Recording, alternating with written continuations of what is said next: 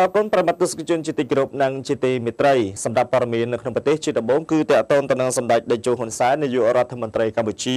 បានប្រាប់ទៅអាដាមខួងស្រេងអាដាមអិតសំហេងឲ្យទៅពិនិត្យមើលផ្ទះជួលដែលយើងបានប្រាប់ថាកុំឲ្យឡើងថ្លៃឈ្នួលផ្ទះតើពេលដែលខ្ញុំបញ្ចូលសេវបញ្ចេញទៅតាមវត្តអាប់ជូនទៅអាដាមខួនស្រេង ជូនទៅអាដាមអិតសំហេងជូនទៅអាដាមប៉ាសជីវងបានមើលឃើញហើយឬនៅខ្ញុំបានបញ្ជូនចូលព្រោះនៅក្នុង Facebook នៅពេលដែលកប់ជួនថ្ងៃនោះខ្ញុំបានបើកមើលខមមិននៅក្នុង Facebook ខ្ញុំបានឃើញថា ទះឈ្នួលគេមានទាំងដាក់ផ្ទះហ្នឹងទៀតមានឃើញឃើញហើយយើងបាននិយាយគ្នាហើយថាកុំអោយម្ចាស់ផ្ទះដំឡើងប្រាក់ឈ្នួលក៏ប៉ុន្តែម្ចាស់ផ្ទះនោះបានចុះហត្ថលេខាដំឡើងប្រាក់ឈ្នួលផ្ទះទៅហើយ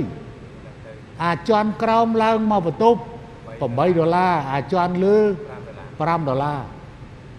ចុះទៅមើលភ្លាមចុះទៅមើលភ្លាមហើយឲ្យគាត់និយាយគ្នាគាត់ត្រូវការប្រមាណពីខ្ញុំ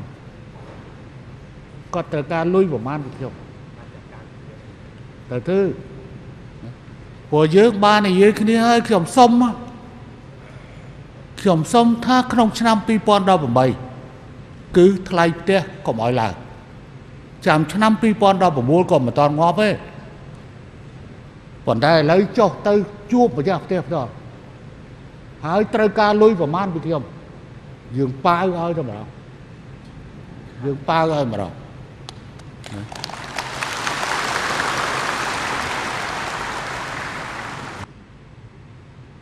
មានមានអ្នកចាត់ការនោះផ្ទះនោះគេសញ្ញេប្រកាងទៅហើយម្ចាស់ផ្ទះគេដាក់ឯកភាពហ៎ឯកភាព មានផ្ទះលេខប្រមាណអីប្រមាណមើលខ្ញុំវាយបញ្ជូនទៅវាយបញ្ជូនទៅពួកខ្ញុំមនុស្សលពឹសមិនតែលពឹសវាអត់ប្រយោជន៍ទេប៉ុន្តែខ្ញុំមើលអាណាដែលវាមាន ផលប៉ះពាល់សម្រាប់ជីវភាពប្រជាជន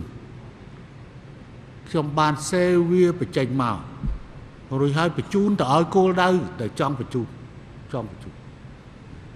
ហើយអ្នកដែលទទួលបានត្រូវមើលអានឹងភ្លាម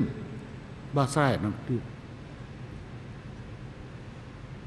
ខ្ញុំចង់ដឹងថានៅពេលដែលប្រាក់បៀវត្តឡើងដល់170ជាមួយនឹងការកាត់បន្ថយការចំណាយដទៃទៀតរបស់កម្មករកម្មការនេះតើស្ថានភាពកម្មករកម្មការនេះរបស់យើងយ៉ាងម៉េច